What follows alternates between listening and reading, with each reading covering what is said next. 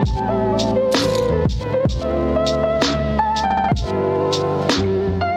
guys, what's up? Welcome back to Lone Fox. Today I have a new video for you. This is a video that I've actually done in the past. I've only done it one time before, and it is DIYing your DMs. 100% inspired by the Sorry Girls. I absolutely love their content, I love their videos, and I love this concept for a video because it's a great way to interact with you guys. So if you don't know what it is, essentially over on Instagram, I actually asked you guys to send in DIY projects you might be curious about, whether they be in like a room styling photo, um, a Pinterest picture, an Instagram photo, whatever you want to see, I try to recreate them live for you guys for a fun little chuckle. But the thing about it is that yesterday I filmed all four of these DIYs for you guys, went home last night to edit the video, and there was no audio. It sounded like this.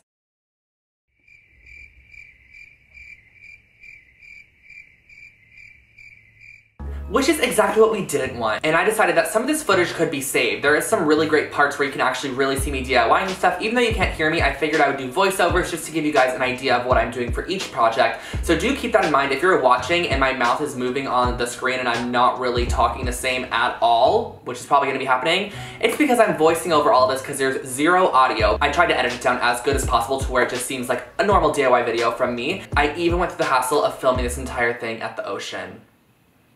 I'm lying. I'm completely lying. I actually just hung up a tapestry on the wall, thought it looked so pretty, left it there, filmed in front of it, and now I can't even use the footage. So, kind of sad, but if you see an ocean background, it's just tapestry. And last but not least, before jumping into today's video, it is sponsored by Squarespace, which is amazing, a huge plus, um, and I'll get to that at the very end of the video. So if you guys stay tuned, watch these DIYs, and let's just get started.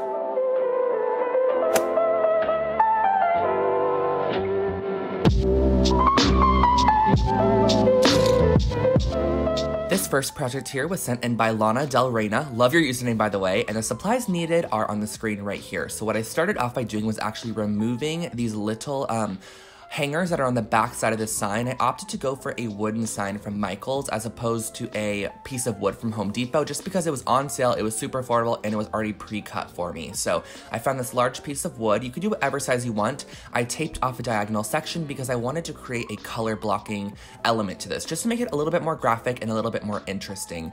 So basically half of it's going to be white and the other half is going to be raw wood. I know the original inspo photo is complete wood, but I thought this would just add a nice element, and if you don't want want to include this step, you could feel free to leave it out. Um, and then once you're completely done and it has dried, you can just pull off uh, the little piece of tape um, and then you're going to reveal a nice clean line. And then just let that dry, set it off to the side, and we can move on to the next step, which is going to be to grab a pencil and a ruler.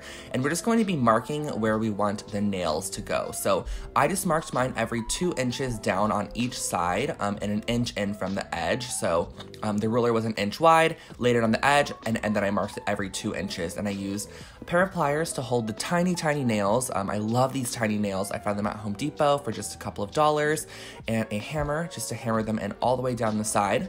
You don't have to use too much force at all, pretty easy to go in. And then once they're fully hammered down your entire section, all you're going to do is grab a little bit of string, and you can use embroidery floss, hemp cording, paper cording, whatever you want. I just found this black string in the jewelry section at Michael's, and I just wrapped it very sporadically, very randomly, and organically any other word that I could say that's organic, I guess, um, down this entire little wooden section. And these strings are basically going to allow you to clip on your photos, your mementos, um, concert tickets, passes, whatever it may be, just sort of as a memento wall. So that sort of finishes up this project and you can hang it up and enjoy.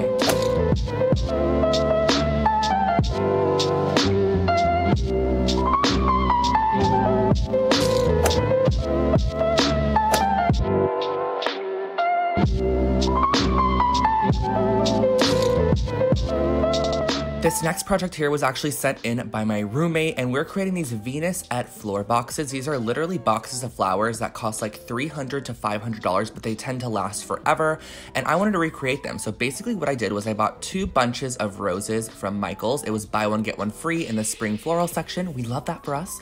And then I bought um, this little paper mache box at Michaels as well, and you're just gonna need some white paint. So all of these roses are actually different sizes because typically in a little bunch like that, you would want different sizes, but I actually wanted my roses to be all the same exact size. So what I did was I just pulled off the petals until every rose was the same size. And I used a total of 16 roses and I went all the way around every single rose and pulled off any petals that were unnecessary. And you can keep these for future projects if you want to, but I just set them off to the side. And then I um, also kept all that greenery as well for future projects because I'm only using the actual rose pieces.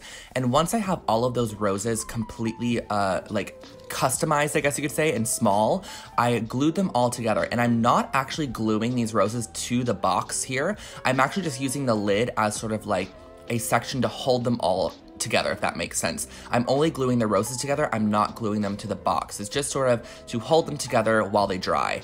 And then I'm using a little bit of white paint to fully paint my paper mache box. So all around the entire edge, I'm doing a coat of white paint. And I did a total of two of them because you really want this to be nice and clean. And keep in mind that you could actually create this whatever color you want. I've seen full black rose boxes, which is like a black box with black roses in it. So you can just spray paint all your roses if you wanted to and create like a very cool minimalistic box as well. And then once all of my roses were dry, I left them in there for like 30 minutes or so. One of them didn't attach, so I just glued that one back in quickly. You're just gonna go around on the inner edge of the box with a lot of glue and then just push your flower cluster in there. Um, as you can see, it did not actually glue to the inside of the lid, it just held them together. So it kind of molded them while they dried. You're gonna glue that in there and it looks like this, which is so pretty and so beautiful. And then I did a nice white coat of paint on the lid. And if you wanted to, you can go in and actually add the Venus et Fleur logo if you wanna print it out and glue it on there, but I just opted to leave it pure white like this just to respect the brand.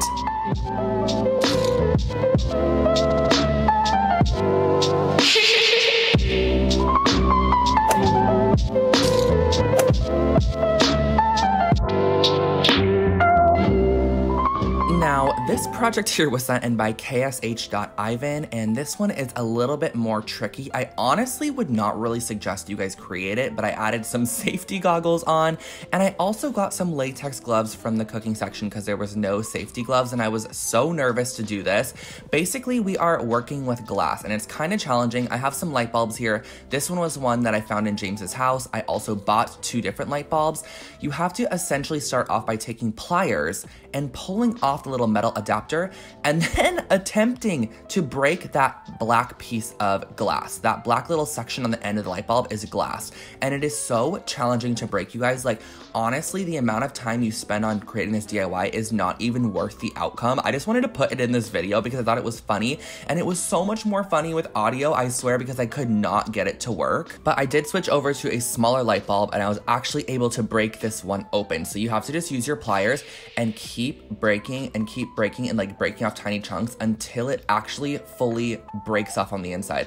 It just creates such a mess. There's so much glass. There's so much like you can do so much harm to yourself by doing this too. Like if you break the glass in your hand, could you imagine? Like it's just scary. I don't know. This DIY is a little bit scary, but I wanted to create it for fun measures. And then I literally broke off the inside piece and it flung across the whole room. Like I was so scared. You guys, look at this right here. Instant replay.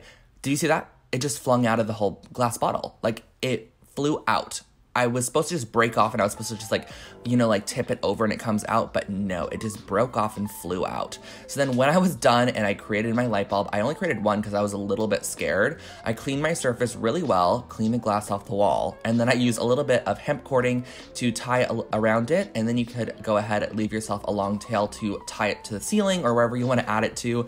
And you just fill it up with a little bit of water and put a little flower in there and you are good to go. Thank you.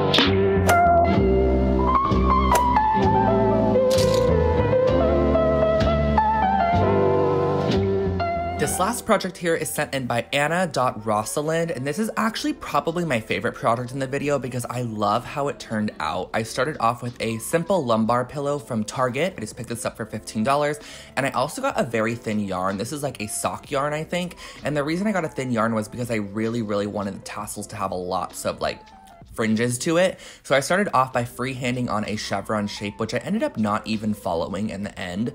I don't know why. It was just a little bit too tight with the tassels I created, so I actually kind of just freehanded on the tassels, but you can create a guideline if you want to. I then used my yarn and cut seven inch sections. So I create a seven inch section and I just like loop the yarn back and forth on each other to create the tassel. So you just do this like mm, probably 60 times, just however much string you want in your tassel, and you're gonna cut all the end loops to create them uh, nice and straight. And then what you're gonna do is loop in your crochet hook, push it through, and then pull through the loop, and then pull back down. I know that was a little bit challenging, but I'll show you guys again. So you're going to um, create your seven inch lengths, just loop it all back and forth on each other. This is gonna be your tassel here, folded in half. Stick your crochet hook through your uh, pillow, and it, I got a thicker woven pillow, so it's kind of easier to.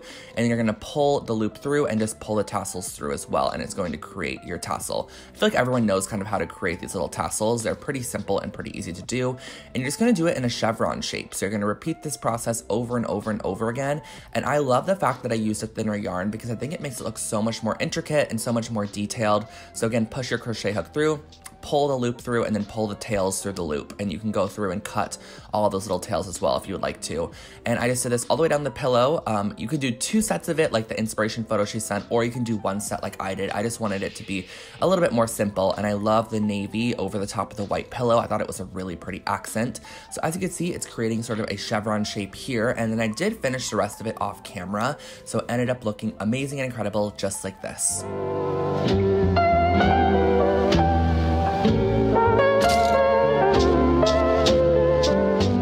And that was my audioless video that I voiced over everything for. And I hope you guys enjoyed. I hope it gave you some tips and tricks and hacks and all that sort of stuff to recreate some things that um, I shared in this video. So if you at home would like to send in any DIY projects or any inspo photos, please feel free to do so. You can follow me on Instagram at Lone Fox Home. I'll put it on the screen for you guys and you can just DM them over. I keep a little like uh, folder on my phone that has all those pictures in it and you might be featured in the next DIYing Your DMs video. And like I mentioned at the beginning of this video, this one is sponsored by Squarespace, which is so fun. Squarespace is an online platform that you can actually go to to create your very own website, whether that be a blog, a shop, um, a little biography on yourself, a portfolio, an online store, whatever it might be, you can create your very own website using Squarespace. And the thing that I love that I always mention is that they have the best templates out there. Like these websites are so aesthetic, they're so clean, they're so functional, they're so beautiful, and they're so pretty. There's so many features about these websites that make them amazing, but also super simple and very functional, which is great for the people that attend your website. And not to mention they also have 24-7 award-winning customer service. So whether you are a musician, a restaurant, a personal blog, a fashion blogger,